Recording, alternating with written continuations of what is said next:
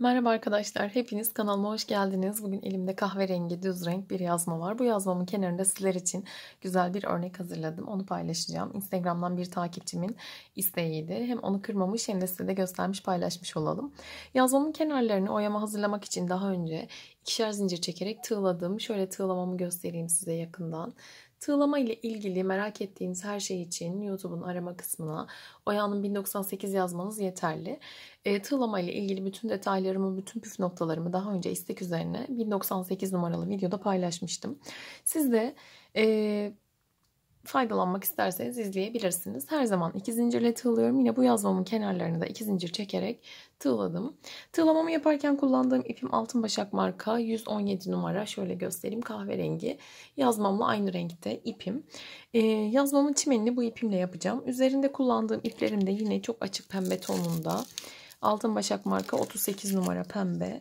Bir de altın başak yine 347 numara sarı kullanacağım. İplerim bu şekilde kahverengi yazmanın kenarında güzel duracak diye düşünüyorum.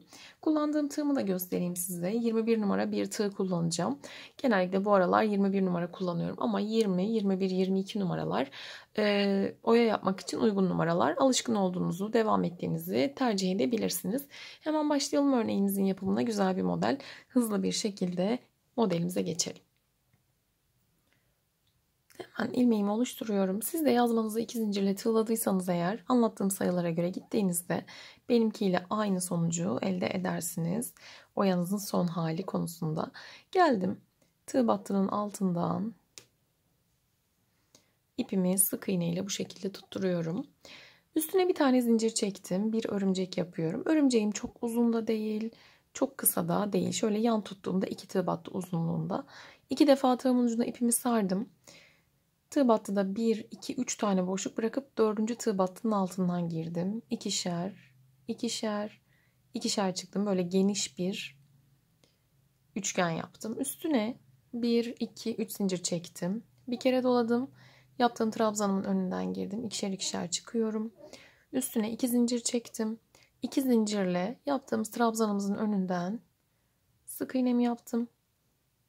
Yanına ikinci sık iğne yanına 3, yanına 4, 5. 5 tane trabzanımın üzerine sık iğne yaptım. Düzeltiyorum. Altıncıyı şöyle tutturdum. Trabzanın önünden yaptık. Üstüne 1, 2, 3, 4, 5, 6 zincir çektim. 6 zincirimle örneğimin ters yüzünü dönüyorum. Şurada 2 zincir çekerek küçük bir boşluk bırakmıştık. Tığımız daha rahat girsin diye açıkçası. Oradan giriyoruz. Altı zincirimizi bu şekilde tutturuyoruz. Üstüne bir zincir çekiyorum. Örneğimin düz yönünü dönüyorum. Düz tarafta sık iğne ile bir kez zincirimin önünden girdim. Üstüne iki zincir çekiyorum. Bir sık iğne yaptım. Birinci kirpik. İki zincir çektim. Sık iğnemi yaptım. ikinci kirpik. İki zincir çektim. Sık iğnemi yaptım. Üçüncü kirpik. iki zincir bir sık iğne yaparak dördüncü, beşinci, altı, şöyle göstereyim. Altı tane zincir çekmiştim. Üstüne yedi tane kirpik yapıyorum. Yine iki zincirimi çektim. Sık iğnemi yaptım.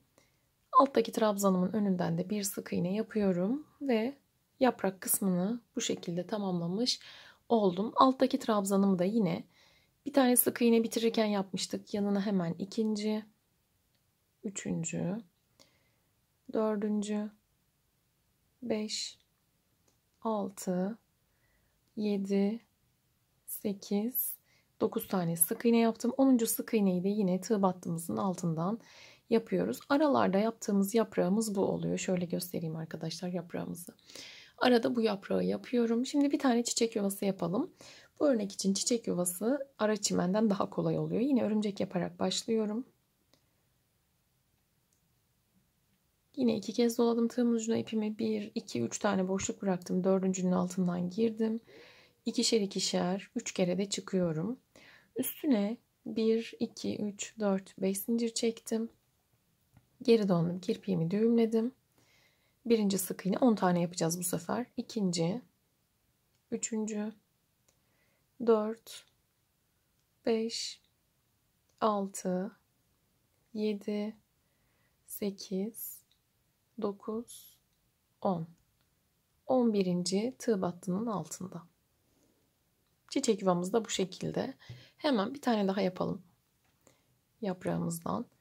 Örümceğimi yaptım. İki kez doladım. Tığ battıda 1, 2, 3 boşluk bıraktım. Dördüncünün altından giriyorum.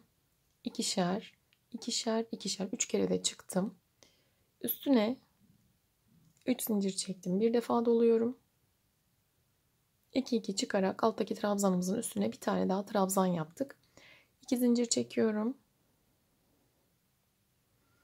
Bu trabzanımın önünden birinci sık iğne, ikinci, 3 4 5 tane sık iğne yaptım düzeltiyorum. Altıncıyı trabzanımın önünden yaptım. Üstüne yine 1 2 3 4 5 6 zincir.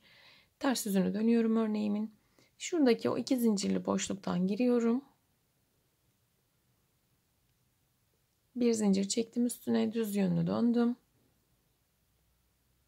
Bir tane zincirimin önünden sık iğnemi yaptım. Sonra iki zincir bir sık iğne yapıyorum. Birinci kirpik, iki zincir, bir sık iğne, ikinci kirpik, iki, iki tane zincir, bir sık iğne. Toplam yedi tane yapacağız. Üç oldu.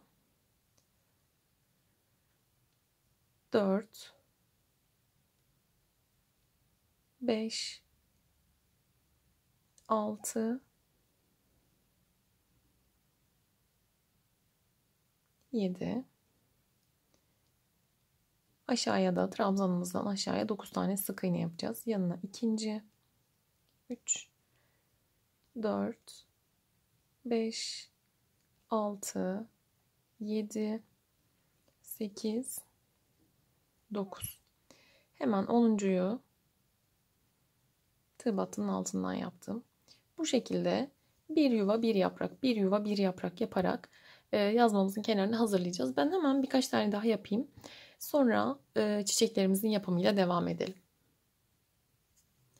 Ben oyamın çimenini biraz arttırdım arkadaşlar. Bu şekilde şöyle göstereyim size. E, hemen çiçeklerimizin yapımına geçmek istiyorum. Bu çimeni yazmamızın her tarafına, bütün kenarına yapıyoruz. E, çiçeğimiz için de ilmeğimi oluşturuyorum. Böyle açık pembe renkle başlayacağım.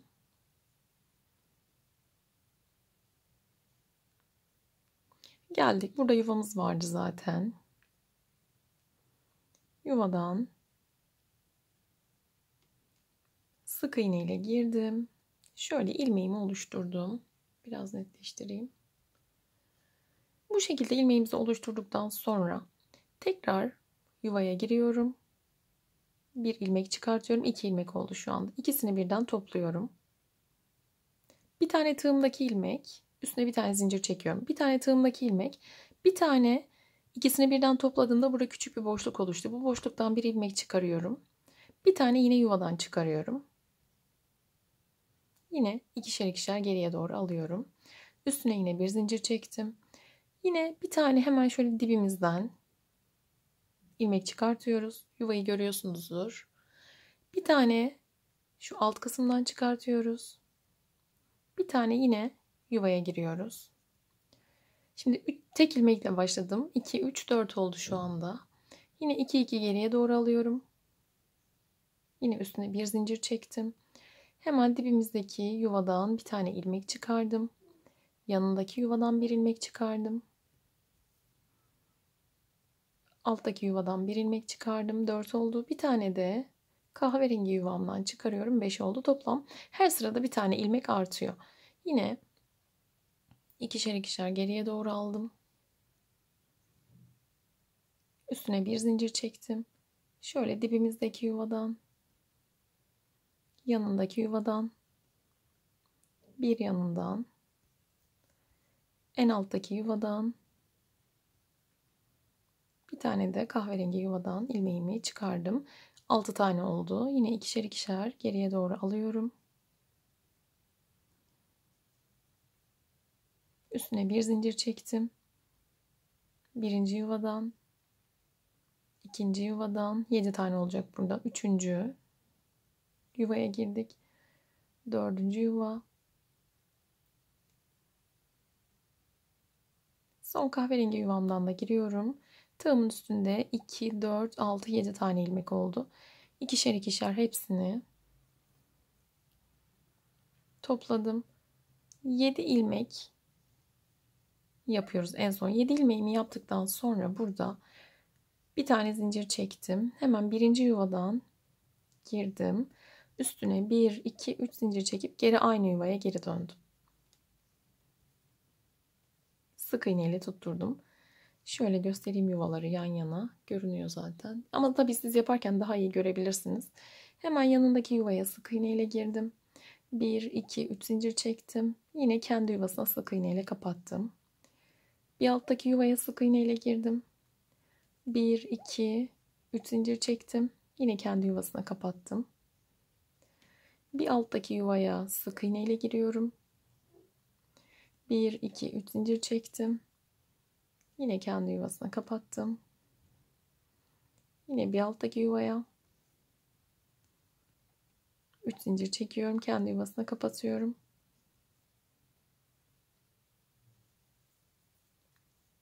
Sonraki alttaki yuvaya giriyorum. 3 zincir çektim. Yine kendi yuvasına kapattım. Sık iğne ile. Burada bir tane fazladan son yuvaya sık iğne yapıp bir tane de kahverengi yuvadan sık iğnemi yapıyorum. Şöyle oldu çiçeğim arkadaşlar göstereyim size. Çiçeğimiz bu şekilde oluyor. Hemen en son üstüne bir tane sıkıca zincir çekiyorum. İpimi keseyim. Diğer çiçeklerimi de yapıp ütüleyip size son halini göstereceğim. Ben oyamın çiçeklerini tamamladım arkadaşlar. Örneğim tamamlandığında böyle bir görüntüsü oluyor. İnşallah beğenmişsinizdir ve yaparsınız. Şimdiden yapacaklara kolaylıklar dileyelim. Beğen butonuna basarsanız, kanalıma abone olursanız çok memnun olurum. Ee, yakın plan fotoğraf isteyenler için yakın plan fotoğraflar Instagram'da Oyanım sayfamda olacak. Beni Instagram'dan takip edebilirsiniz. Şimdiden herkese kolay gelsin.